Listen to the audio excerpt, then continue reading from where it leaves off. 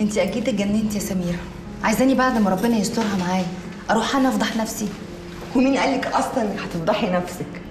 هي صافي دي فرصة وجات لك من عند ربنا عشان تكسري ظهر نديم كمال ده بضربة واصلا مش هيعرف انك وراها. إزاي بقى يا أم العريف؟ الغطرسة اللي البيه فيها مخلياه أعمى. مش شايف إن السي دي ده يدينه أكتر من ما يدينك. في computer program تافه أي عيل بيعرف يشغله. لو منتجنا بيها السي دي ده ممكن أشيل آثارك من عليه خالص وما يبقاش باين غير نديم كمال. وشوفي بقى لما على يد فاعل خير السي دي ده يروح لمراته. مراته اللي هو بيخاف منها موت. شوفي هتنكد عليه عيشته قد إيه. إيه يا صافي معقولة؟ انت مستخسرة ان تدوقي شوية من النكد اللي طول عمره مدوقهولك عشان مش عايزة اقعدي يا سميره هو أنا كنت بتصالح معاه ليه ما كنت أخدت الفلوس اللي أنا لهفتها منه وخلصنا. إيه يا صافي؟ هو أنت يعني الوحيدة اللي صورها وبعت لها سيديهات؟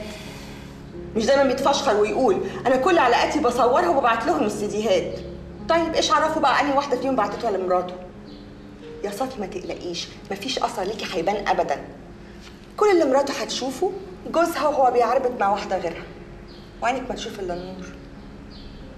يا بنت الإيه؟ طب والله فكرة. على الأقل أنام وأنا مبرده ناري.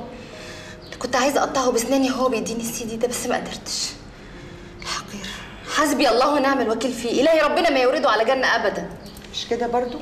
بس بشرط بعد ما تمنتجي السي دي وبعد ليه؟ وإنتي بتمنتجيه أنا هبقى جنبك. وساعتها هنقرر يا نبعته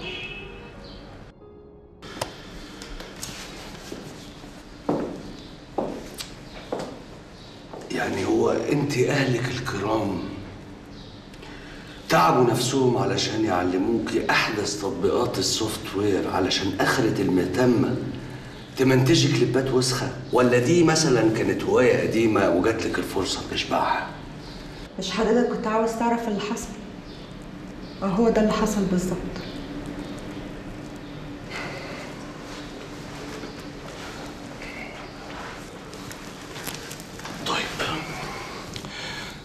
يا ترى بقى مهاراتك المنتجية أبهرت صافي فقررت إنها تبعت الديفيديهات اللطيفة دي لمرات نديم كمال ولا لأ؟ لا. صافي حبيبتي في آخر لحظة عملت صلاة استخارة. قررت ما تعملش كده خالص. هي كانت عاوزة تبدأ حياة جديدة. ما كانتش عاوزة تبدأها بخراب البيوت عشان ربنا يبارك لها فيها. حتى لو كان البيت اللي بتخرب ده بيت نادين كمال اللي بتتمنى له الموت.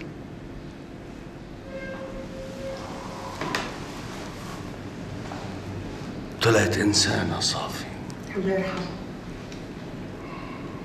وطبعا إنسانيتها دي غصتك جدا. فقررتي إنك أنت تتولي الموضوع وتبعتي الديفيديات اللي أنت تعبتي فيها لمرات نديم كمال نيابة عنها على اعتبار يعني إنك أنت ما عملتيش صلاة استخارة. أنا كان لازم أعمل كده. أنا كان لا يمكن أسمح للحقير ده إنه يفتكر ما فيش حد يقدر يقف قدامه. ده إيه الحلاوة دي؟ فحضرتك يعني قررتي إنك تشكلي جبهة المقاومة الشعبية بكليبات أوض النوم.